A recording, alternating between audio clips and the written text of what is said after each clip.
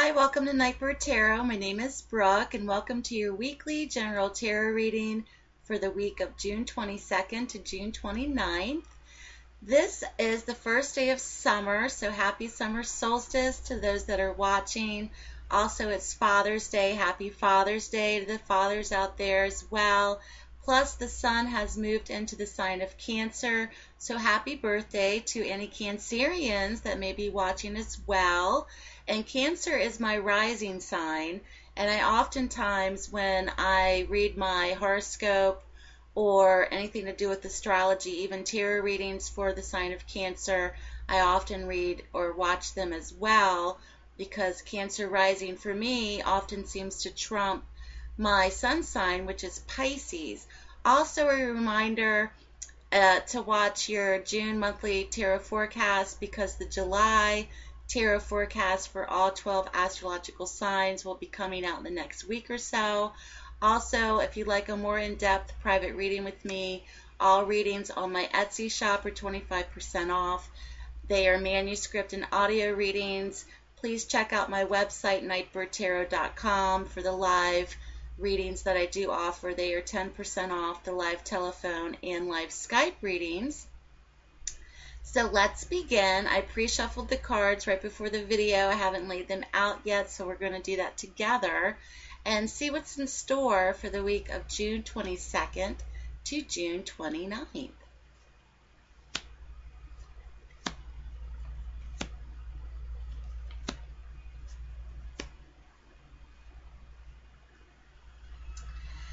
There may be, for many of those that are watching this week, of feelings of disappointment or feelings of regret. This could also be a feeling of enough is enough. So, going into the first part of the week, there may be feelings of regret. There may also be feelings of disappointment because the Five of Cups has shown up. And this is a card ultimately of something is not working right, something that perhaps you've put a lot of emotion towards is not bringing you fulfillment. There may be a walking away from something, and there may also be disappointment in a situation. There may also be regrets when it comes to a situation or even possibly a relationship. This could also be a professional relationship as well. Feelings of regret for the week. So, that's very interesting. Feelings of regret. And while I was meditating before the reading, like I do with all tarot readings, whether it's on YouTube or whether it's in my private readings, I always ground and center and send up a prayer and meditate. And I got the messages of, I forgive you, a message of forgiveness. And I think that's very relevant for this week. You know, last week, for many of those in the United States, we were captured by the news and the media in terms of the terrible tragedy that happened in South Carolina. I don't normally talk about news events on my YouTube channel, but it was such a strong reaction to what happened, and it hit me very emotionally, and I can't even speak about it without getting angry. But the message was from the families of those victims they forgave the perpetrator, and I was amazed by their resilience because of their faith and their belief in order to forgive him. And I think that's a strong message going into this week as well. Not to have regrets or disappointment or to carry the burden of regret any longer. To forgive, to forgive ultimately yourselves. Whatever you may feel that you have disappointments about, this may be the week where you shed those and forgive yourself, also forgive other people. It's very easy to hold on to grudges or to hold on to resentments or to carry the weight of disappointment in our lives. And it's much harder to forgive yourself or to forgive other people. And the message was, I forgive you. I forgive you. I'm releasing it. I forgive you so I can release it from within myself. So that's the message for this week. Whatever may be causing you disappointment or guilt or regret or whatever it is that is causing dissatisfaction, try to find within yourselves this week the ability to practice forgiveness. I forgive you, and to release it for the week. Now, what's interesting is there's a court card in the reading that has followed this, and this is the King of Wands. The King of Wands is a leader, it's very practical kind of king. He's also very passionate, he's very creative, he's dynamic, he has the capabilities of being very passionate and strong in his position. This could be a father figure, this could be a husband, this could even be a brother, boyfriend, this could be a close friend, this could be an actual person, or these may be attributes or personalities for those that are watching. The King of Wands is very dynamic, he's very passionate. So, on a level of making decisions or a level of being practical, he is very driven with energy and passion in terms of taking hold of a situation and making the best of it. So, being able to delegate your way through this week from whatever may be causing you disappointment or whatever may be causing you even shame that's coming up for me whatever is whatever you're holding on to the release of letting it go. It's very significant. And this can be coming from this card as well of the finding within ourselves the creative passionate characteristics of shedding things and letting things go of shedding the old ways and letting things go so we can purposely go into the next phase of our lives, no matter how small those steps are. Okay, whatever events have led up to, uh, up till now, now is the beginnings, especially with summer solstice and especially with the new season coming in and the new sign of Cancer coming in as well. We're on another path generated this week. Now's the time to find that passionate side within you and to let it go. Just let it go. Forgive yourselves even if you feel that you it's hard for you to let go of certain situations. Try to find forgiveness within yourself. Everybody makes mistakes. We're all human, you know. They say we're spiritual beings here having a human experience. Everyone makes mistakes. Nobody is perfect.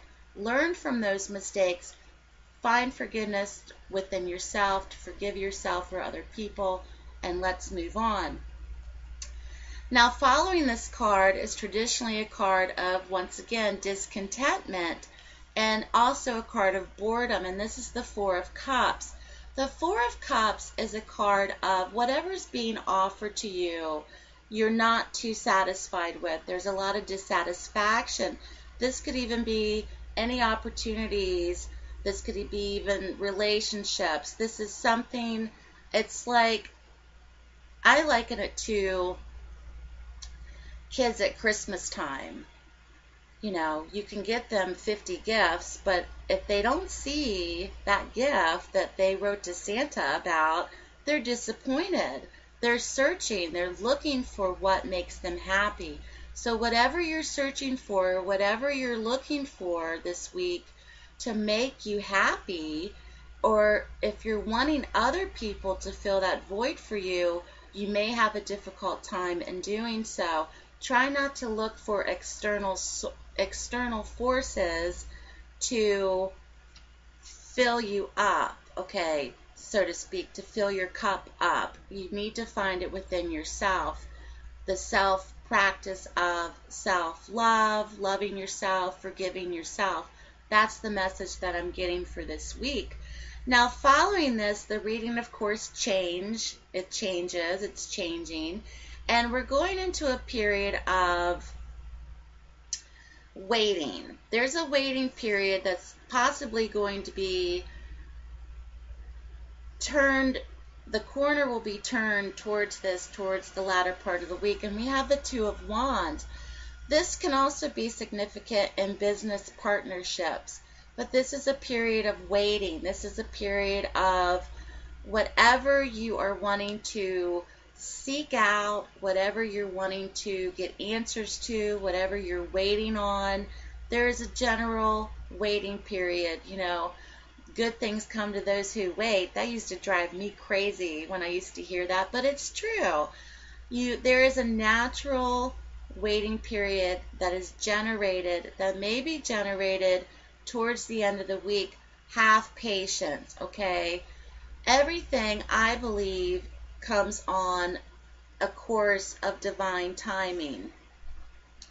Certain circumstances, certain events, you know, a lot of people don't believe in predestined events. I kind of do because of my circumstances in my life. I've seen it.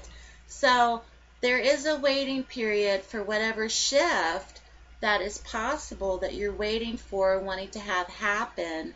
There is a waiting period, and sometimes it's good practice to do a cleansing or a spiritual cleaning. You know, when you clean your house and you feel better, you get rid of the clutter and you feel better, you're opening up those energy channels to allow things to come into your life. So that's going back to the forgiveness card and finding that creative, passionate energy within yourselves to release it in order for events to come in. And once again, that's where the waiting period happens.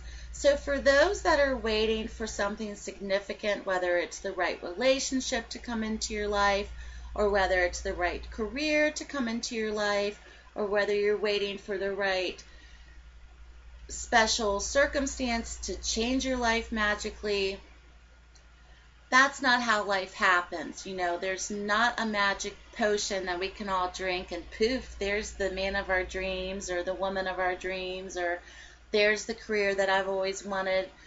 You know, I wish that there was or I wouldn't be sitting here on the floor in my daughter's bedroom, but that's where the beginning steps happen to make your dreams come true and that's where the challenge is is the waiting period. That's the challenge.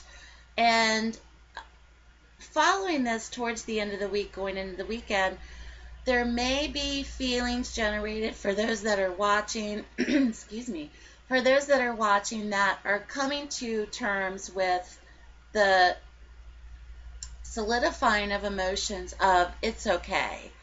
I'm doing okay. Everything's fine. I may be single right now, but everything's fine. I may be doing things on my own more than I'd like to, but everything's fine because you're in a very strong position in terms of taking care of yourselves because the Nine of Pentacles has appeared. And the Nine of Pentacles is all about taking care of yourselves. Self love. That may sound cheesy, but self love. Self love is something that we're not taught when we're children, and it's very important. In order for you to have respect in relationships, whether it's romantic, whether it's professional, you have to have respect and love for yourself first. That is so important, or you will be taken advantage of, you will be bulldozed, you will be used, you will people will use that to their advantage. Not everyone, but people do. This card is a great reminder of not only feeling confident in doing things on your own if you are single, whether it's by choice, whether it's by, you know, circumstances, divorce, your partner passing away, whatever the circumstances have led up until now, the feeling of feeling confident, especially going towards the latter part of the week into next weekend, is a feeling of solitary enjoyment, knowing that you are capable of being self reliant. It's a real card of self reliance and self identity. Who am I? What do I want in my life? If I'm not happy, if I'm discontented or bored with my life, what can I do to change that? You know, as a tarot reader, I often get many questions about when will this happen for me? When will I find this for me?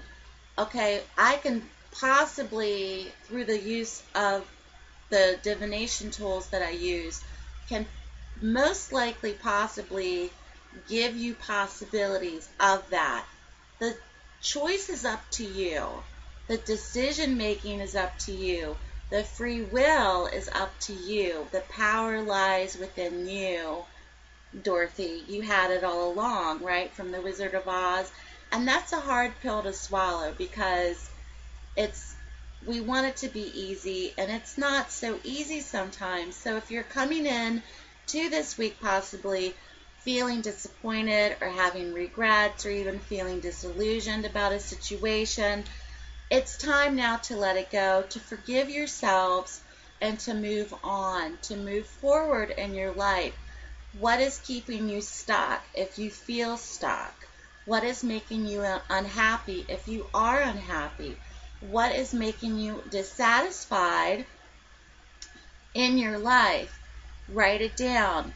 What can you do to change it? Make a plan, make a long term goal, whether it's financially, whether it's personally, whether it's for your family or just for your, within yourself, because it really lies in your hands, and that's where the confidence card and the self identity and the self reliance of knowing that you have the abilities to change your life. You really do. You have the abilities to change your life.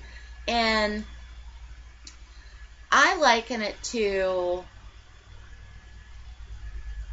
whether it's taking off the mask of your daily lives and stop pretending about who you are or what you are or who you should be or how you should act or whatever it is. So it's scary. It takes a lot of courage and it's time to take the leap into the unknown and to really go for what makes you happy you know, and it's scary, but go for what makes you happy and not hold on to grudges and disappointments and the feeling of carrying regrets for the rest of your life because life is too short. You know, absolutely. And people are going to talk about you whether you do good or whether you don't do good. So it doesn't matter what anybody else thinks. So go forth into this week with confidence and to remember that you do have what it takes to change your lives if something is making you unhappy. That's the message for this week. Okay, that's the message of forgiveness, of letting go, and moving on. So I hope you all have a great week this week. I'll be back next Sunday for your next weekly tarot reading. Don't forget to check out my website, nightbirdtarot.com. Have a fabulous week. I'll see you next week. Take care, and I'll speak to you soon.